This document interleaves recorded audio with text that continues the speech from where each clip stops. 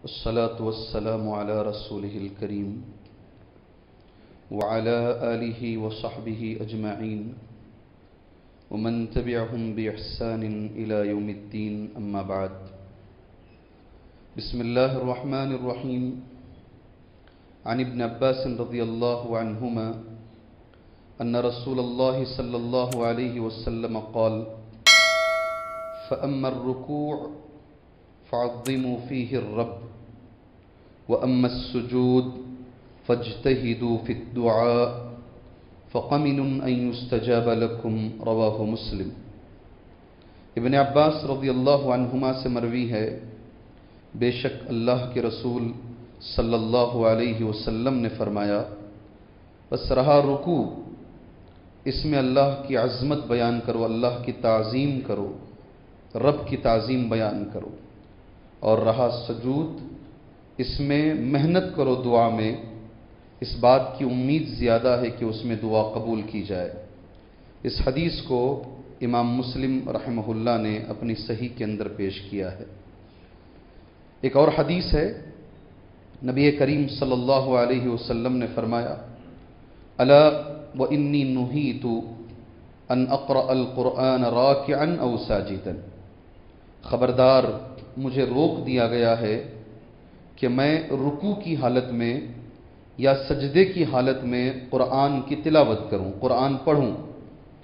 फ़अमर रुकू, रहा रुकू फ़ाज़िम फ़ी रब, इसमें रब की ताज़ीम बयान करो। व अम्मस सुजूद, और रहा सजदा, फ़जतहीदो फ़िद्दुआ इसमें कसरत से दुआ करो, मेहनत करो। फ़मिन युस्तजाब लकुम ज़्यादा उम्मीद है कि इसमें दुआ कबूल कर दी जाए कर ली जाए। इस हदीस को भाई इमाम मुस्लिम रहमहुल्ला ने बयान किया है। मुआज़ दोस्तों मैंने वादा किया था आपसे आपको याद होगा। आज इस्तिखारे के बारे में मैं कुछ कहूँगा। कल छोटा सा मेरा एक ऐलान था आप में से किसी को कुछ ज़रूरत रहे तो आप बताइए कई लोगों ने मुझे बताया। पहले तो मैं हर एक का दर्स नहीं दे सकता उतना वक्त मेरे पास नहीं है रमज़ान मुबारक में। कुछ लोग जो इस मस्जिद में जब से मैं जिस दिन से आया, पहली नमाज़ यहाँ पढ़ाया, उस दिन से मेरे साथ हैं। उन लोगों ने भी फ़ोन करके जो है, कहा कि एक आध चीज़ आप बता दीजिए, बेहतर है। उम्र में मेरे से बहुत बड़े हैं, उनका एहतराम मेरे लिए ज़रूरी है। और बड़ी रिक्वेस्ट उन्होंने की, अगर आप बता दें तो ज़्यादा बेहतर है। उन चीज़ों में से एक चीज़ जो उन्होंने कहा कि सजदे की हालत में दुआ करना। हालत सजदे में। मैं इसलिए इसे छोड़ दिया था क्योंकि ये हर साल बात आपके सामने आती है, आपको मालूम है। इसलिए मैं इस बात को ऐसे ही सरफ नज़र करके आगे गुजर गया। मगर लोगों के गुजारिश पर मैं ये दर्स, सजदे की हालत में दुआ के बारे में दर्स दे रहा हूँ। मैंने दो अहादीस पढ़ी है और मैंने ये भी सोचा इसमें, कितने टाइप के सजदे होते हैं। जी, ये ये मसला हमारे लिए है। कौन कौन सा सजदा है हमारे दीन के अंदर? और साथ में क्या अकेले दुआ करने के लिए सिर्फ़ सजदा करना जायज़ है क्या? नमाज़ की हालत में नहीं ना नफिल में, ना फ़र्ज़ में। सिर्फ़ सजदा करने, सजदा करके मैं दुआ करना चाहता हूँ। क्या ये जायज़ है क्या? तो मुझे लगा नहीं। ये मौजू है जो लोगों तक ये बात पहुंचनी ज़रूरी है। दूसरी चीज़ मुझे ये भी लगी, सजदे सहू है। आदमी नमाज़ में गलती करता है तो सजदा है एक। कोई भी ज़िंदगी में कभी खुशी मिलती है, एक सजदा है, उसको हम कहते हैं सजदे सजदे शुक्र है सुबहान अल्लाह कुरानी मजीद पढ़ रहे हैं तो एक सजदा है, जब वो आयत गुजरती है, उसको हम कहते हैं सजदे तिलावत। अभी मैंने तीन सजदे बता दिए, तीन किस्म के सजदे। शुक्रिया का सजदा बता दिया, शुक्र का सजदा। सहू में जो सजदा होता है, वो सजदा, तिलावत में जो सजदा होता है, वो सजदा। अब जो फ़र्ज़ नमाज़, अभी जो मैंने, हमने पढ़ी, अल्हम्दुलिल्लाह, अल्लाह इसे कबूल करे, और नफिल नमाज़ जो हम पढ़ते हैं, उनमें जो सजदे होते हैं तो इसके अंदर दुआ अगर हमें मांगना है तो कैसे मांगना है? जी हाँ मैं उनका शुक्रिया अदा करता हूँ, जिन्होंने मुझे फ़ोन करके इस मौजू पर कहने के लिए कहा। कि आप इसे बोल दीजिए? मुझे और दो बातें इसमें इंशाल्लाह आपके साथ शेयर कर लेनी है, इंशाल्लाह। मौका मिला तो आज, नहीं मिला तो इसको एक हाथ आगे बढ़ाएँगे, इंशाल्लाह। खासकर सहू सजदा, कौन सा? सजदे सहू। कौन सी गलती पर हम सहू सजदा करना है, ये मैं इंशाल्लाह बताकर, ये जो आदाब है, इसको मैं ख़त्म करता हूँ। कबल इसके के सजदे के बारे में मैं बात करूँ, एक हदीस में पढ़ता हूँ, इंशाल्लाह ताला। गौर से सुनना और अमल करना, इंशाल्लाह, ठीक है? दुआ के आदाब के अंदर एक हदीस है अबू मूसा अशरी रज़ी अल्लाह की, कहते हैं, नबी करीम सल्लल्लाहु अलैहि वसल्लम से गुजारिश की गई, अबू आमिर रज़ी अल्लाह का इंतकाल हुआ। किनका? अबू आमिर का, मैं जानता हूँ, आप थोड़ा सा साथ दें, आप जहन लगाएँ यहाँ। अबू आमिर का इंतकाल हुआ रज़ी अल्लाह तो अल्लाह के रसूल से कहा गया, सल्लल्लाहु अलैहि वसल्लम, आप उनके लिए दुआए मगफिरत कीजिए। आप जो मर गए हैं, उनके लिए मगफिरत की दुआ कीजिए। नबी करीम सल्लल्लाहु अलैहि वसल्लम ने पहला काम किया फदा बिमा इन, आपने पानी मंगाया। फतवज़ा आपने वज़ू बनाया। आपने क्या किया? वज़ू बनाया। सुम्मा रफा यदई फिर आपने हाथ उठाए। ठीक है? फ़कल, उसके बाद आपने दुआ किया। अल्लाह मकफिल अभी आमिर। यह हदीस बुखारी में है, किताबुल मगाजी के अंदर है। ऐसे उठे उठे बैठे बैठे नहीं। दुआ करने से पहले वज़ू बना लेना बेहतर है। सुबह अल्लाह कितनी छोटी चीज़ है और कितनी अहम चीज़ है। सीधे आए बैठे चले गए। अल्लाह के रसूल से कहा जा रहा है एक आदमी मर गया है इंतकाल हो गया है आप उसके लिए दुआ कीजिए। नबी करीम वसल्लम क्या एहतमाम कर रहे हैं सुबहान अल्लाह पानी मंगा के वज़ू बना के हाथ उठा के। और एक बात ये जहन में बिठा लेना पूरी ज़िंदगी भर। हो सके तो इसको रख लेना। अल असलुफ दुआ रफुल यदैन। एक उसूल है एक उसूल अल असलुफ दुआ रफुल यदैन। असल दुआ में हाथ उठाना है। आप जब भी दुआ मांगेंगे, वो सारे मकाम जहाँ पर अल्लाह के रसूल वसल्लम ने हाथ उठाए, आप हाथ उठाएँगे इंशाला अल असलुफ दुआ रफ़ुल यदैन। असल दुआ में हाथ उठा के दुआ मांगना है। और मुझे अच्छे से याद है गुज्त साल असर के बाद मैं इस मौजू पर दर्ज दिया था और मैंने हाथ उठा के बोला आपको, कहाँ तक जी हाथ उठाना है? इसमें भी ज़रा अलग अलग लोग हैं। कोई माशाल्लाह ऐसा पकड़ता है, अल्लाह ज़्यादा दे। जी हाँ कोई ऐसे पकड़ते हैं, कोई ऐसे पकड़ते हैं। मैं आपको कहूँगा, अल्लाह के रसूल सल्लल्लाहु अलैहि वसल्लम कहाँ तक हाथ उठाते थे और कैसा हाथ पकड़ते थे? सुबह अल्लाह जी। अल्लाह के रसूल, एक आदमी ऐसा उठा रहा है, मैं देख रहा हूँ। एक आदमी ऐसा कर रहा है, एक आदमी ऐसा कर रहा है। जी हाँ, अल्लाह के नबी सल्लल्लाहु अलैहि वसल्लम हाथ कैसा उठाते थे दुआ के लिए? अल्लाह अकबर। जी, ये भी ज़रूरी है, ये भी ज़रूरी है सुबहान अल्लाह जी हाँ, दोनों हाथों को मिलाते नबी करीम वसल्लम। दोनों हाथों को मिलाते, खोलते नहीं, बीच में गैप नहीं रखते थे, मिलाते दोनों हाथों को और अपनी पेशा, अपने चेहरे के सामने रखते सुबह कहा? चेहरे के सामने। मैं शेख मोहम्मद बिन साल अलसैमी अल्लाह जजाय खैर दे उनको। शागिर्दों के बीच में बैठकर, शेख हाथ उठाकर बड़े बड़े उलमा हैं उनके शागिर्द। ये तरीका है नबी करीम सल्लल्लाहु अलैहि वसल्लम का। ये हमेशा आप जहन में रखें। आप हाथ उठाए, एक सहाबी को दुआ देने के लिए भी नबी करीम सल्लल्लाहु अलैहि वसल्लम ने हाथ उठाया, मैं सजदे पे आ रहा हूँ। मगर ये चीज़ मुझे लगा कि ज़रूरी है ये चीज़ सुबह अल्लाह वज़ू बनाकर अगर हम दुआ करते हैं, अल्लाह हमारी दुआओं को कबूल करता है। चले, अभी सजदे पे आते हैं। सुबह अल्लाह सजदे के बारे में जो हदीस, दो हदीसें हैं जो मैंने पढ़ी। पहली हदीस मुस्लिम की है, और इस हदीस के रावी इबन अब्बास हैं। अल्लाह के नबी फरमाते हैं सल्लल्लाहु अलैहि वसल्लम, रुकू में अल्लाह की अजमत बयान करो। क्या करो? अल्लाह की ताजीम बयान करो। तो हम कैसे बयान करते हैं? सुबहान रबियल अजीम, सुबहान रबियल अजीम। क्या माना है उर्दू में इसका? सुबहान रबियल अजीम का माना क्या है? क्या परेशानी है? सुबहान रबियल अल्लाह की आजमत बयान करो है। सुबहान रबियल अजीम का माना क्या है? पैदा जब से हुए, बोलना जब से सीखे, तब से ये दुआ कर रहे हैं। बोलना जब से सीखे नहीं, तब से अल्लाह के फजल से ये दुआ कर रहे हैं, इसका उर्दू माना क्या है? सुबहान रब्बी अजीम। मैंने बोला, रमज़ान एक मदरसा है। हम उसमें दाखिला लिए हैं। हम उसमें दाखिला लिए हैं। हमारी छोटी छोटी गलतियों को दुरुस्त करना हमारे लिए ज़रूरी है।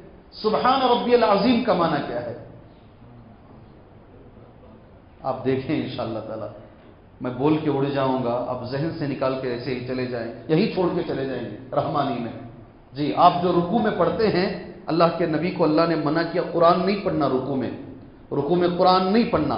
रुकू में अल्लाह ताला की अजमत बयान करना तो हम अजमत बयान करें। सुबहान रबी अजीम की शक्ल में। एक और दुआ भी है, जो हम रुकू में करते हैं। सुबहान रब्बना व बिहमदिका अल्लाह मगफिरली सुबहान रब्बना व बिहमदिका अल्लाह मगफिरली जहन में रखो इंशाअल्लाह ताला फिर सजदे के बारे में नबी करीम सल्लल्लाहु अलैहि वसल्लम कहते हैं इसमें मेहनत करो दुआ में अल्लाह अकबर फजते ही दू फिर दुआ मेहनत से दुआ करो उम्मीद है कि दुआ सजदे की हालत में कबूल कर ली जाएगी सुबहान अल्लाह फ़र्ज़ नमाजों में भी दुआ कर सकते हैं अगर आप देख रहे हैं इमाम थोड़ा लंबा सजदा कर रहा है आपकी तस्वीर खत्म हो चुकी है, आप दुआ मांग सकते हैं, सजदा, फ़र्ज़ में भी।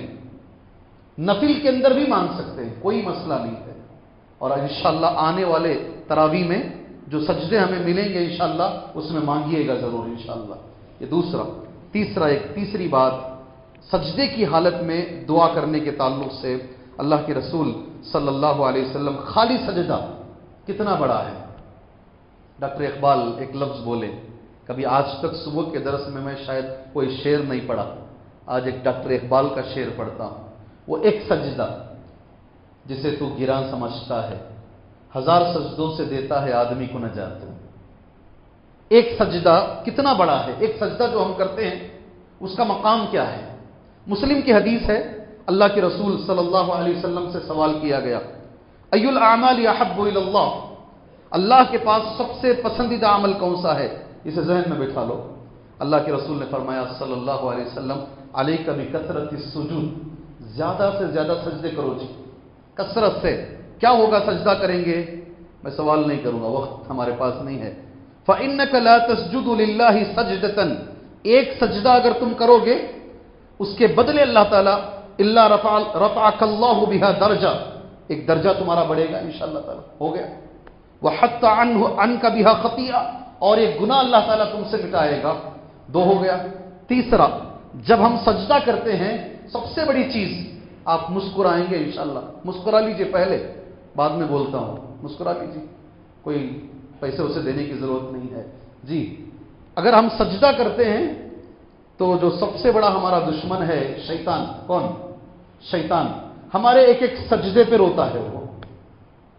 जब भी आदम का बेटा, इंसान सजदा करता है तो शैतान अलग से जाके खड़ा हो जाता है और रोते हुए कहता है, मुझे हुक्म दिया गया था, मैंने सजदा नहीं किया और मेरे लिए जहन्नम है। आदम के बेटे को अल्लाह ने जब जब हुक्म दिया है, वो सजदा कर रहा है और उसके लिए जन्नत है। सुबह अल्लाह सजदा दुश्मन को सुबह अल्लाह एक थप्पड़ की तरह है, जो हम अल्लाह के करम से सजदा करते हैं। मेरे ख्याल में आज का वक्त खत्म होने जा रहा है। एक दो चीज़ें क्या अकेले, ठीक है, नफिल में कर रहे हैं, फ़र्ज़ में कर रहे हैं, मुझे बस सजदा करके दुआ करना है। मेरी नमाज़ पूरी हो गई है, मैं ज़िक्र करता हुआ बैठा हुआ हूँ। अचानक मुझे ख्याल आ रहा है, सजदा करूँ और मैं क्या करूँ? दुआ करूँ। सुबहान अल्लाह एक चीज़ जहन में बिठा लीजिए। उलमा कराम ने कहा यह बात लेकर जाइए यहाँ से इन ताला। उलमा ने कहा, दीन जो भी है, वो तोकीफी है। कि मैं सौ फ़ीसद मुझे गारंटी है ये लफ्ज आपकी समझ में हरगिज नहीं आया है। मुझे हंड्रेड परसेंट गारंटी है। दीन जो भी है, क्या है वो? तोकीफी है वही काम करेंगे जो सुन्नत से साबित है, अल्लाह के रसूल से साबित है, सहाबा से साबित है। अपने तरफ़ से उसमें कुछ एक्स्ट्रा हम नहीं करेंगे। इसको तोकीफी बोलते हैं। क्या बोलते हैं? तोकीफी बोलते हैं। जीन, दीन जो भी है, नबी करीम सल्लल्लाहु अलैहि वसल्लम से कभी साबित नहीं है कि सिर्फ़ दुआ के लिए नबी ने अकेला सजदा किया हो। न किसी सहाबी से साबित है। इसलिए उलमा कहते हैं, सिर्फ़ दुआ के लिए सजदा करना यह कहीं भी साबित नहीं है, कहीं भी साबित नहीं है। अल्लाह के लिए नफिल नमाजों में कीजिए, फ़र्ज़ नमाजों में कीजिए। दीगर जो सुजूद हैं, जिसमें तिलावत का सजदा हो या शुक्रिय का सजदा हो, शुक्रिय के बारे में कहता हूँ मैं आपको। ताजुब होगा शुक्रिय के बारे में। कोई भी खबर मिले आपको। अच्छी खबर इंशाला अच्छी खबर। मैं दो रकत नमाज़ पढ़ रहा हूँ, शुक्रिया के लोग बोलते हैं। बोलते नहीं, कौन कौन नमाज़ पढ़, पढ़ते हैं यहाँ? हाथ उठाओ। जरा ज़ोर से चुप ही उठाओ क्या अभी फ़र्क नहीं पड़ता। पहले कब कहीं को उठा रहे हैं? आप छोड़ो नीचे। अब कौन पढ़ रहे हैं इस वक्त? जी, शुक्रिया की नमाज़ ये हदीस से साबित नहीं है। जो हदीस है, वो ज़रीफ है। अल्लाह जजाय खैर दे, हमारे भाइयों को हम भी पढ़ते थे। जब नहीं मालूम था। जब मालूम हुआ कि ये नमाज़ साबित नहीं है, नहीं पढ़ रहे आप। शुक्रिया का सजदा साबित है। और शेख बिन बाज रहमहुल्ला अल्लाह जजाय खैर दे इनको, कहते हैं, इसमें किबला शर्त नहीं है। शुक्रिया के सजदे में किबला शर्त नहीं है। शुक्रिया के सजदे में कोई ज़िक्र भी नहीं है। आपको मालूम हुआ, ये खुशखबरी मिली। अल्लाह करे कि मिले हमें। कुछ बड़ी बड़ी खुशखबरियों के हम मुंतजर हैं। कुछ बड़ी बड़ी खुशखबरियों के हम मुंतजर हैं। अल्लाह वो खुशखबरियाँ हमें अता फरमाए। हो सके तो ये रमज़ान ही में अल्लाह अता फरमाए। जिस हालत में हम आए, वही धड़ाम से गिरेंगे। वहीं गिरेंगे इन ताला सजदे के लिए। ये शुक्रिया का सजदा होता है। मैं बात आज के लिए ख़त्म करता हूँ। अंदर आते वक्त एक बड़े भाई ने मुझसे कहा, गर्मी बड़ी सख्त है। बारिश के लिए दुआ कीजिए। जी हाँ बारिश के लिए दुआ कीजिए। दर्स बारिश की दुआ पर हम ख़त्म करते हैं, अल्लाह से दुआ कीजिए। अल्लाह अज्जा वजल इस माह मुबारक के अंदर अल्लाह बारिश नाजिल फरमाए। वो भी एक वक्त है दुआ कबूल होने का। बारिश नजूल नजूल बारिश के टाइम पे भी, मतर के टाइम पे भी दुआ अल्हम्दुलिल्लाह कबूल होती है। और बारिश के लिए सबसे अच्छी दुआ है अल्लाह सईबन नाफिया कौन सी? अल्लाह सईबन नाफिया अल्लाह सईबन नाफिया अल्लाह सईबन नाफिया एक और दुआ है इस ने हमें बचपन से सिखाया है अल्लाह गईतम मगीतम गैर गैर आजिल। बड़ी अच्छी सी बारिश की दुआ है। इस दुआ के साथ अल्लाह से हम ये दुआ करते हैं, अल्लाह तबारक ताली इस माह मुबारक को अमन के साथ अल्लाह हमें गुजारने की तोफ़ी अता फरमाए। अल्लाह जहाँ जहाँ भी सख्त गर्मियाँ हैं, अल्लाह बारिश को नाजिल फरमा कर वहाँ अल्लाह ठंडी पैदा फरमाए, माहौल को अच्छा बनाए। अल्लाह ज़िंदगियों में जो परेशानियाँ हैं अल्लाह उसे दूर फरमाए आमीन। वसल्ला नबी करीम। असल वरहमल वर्क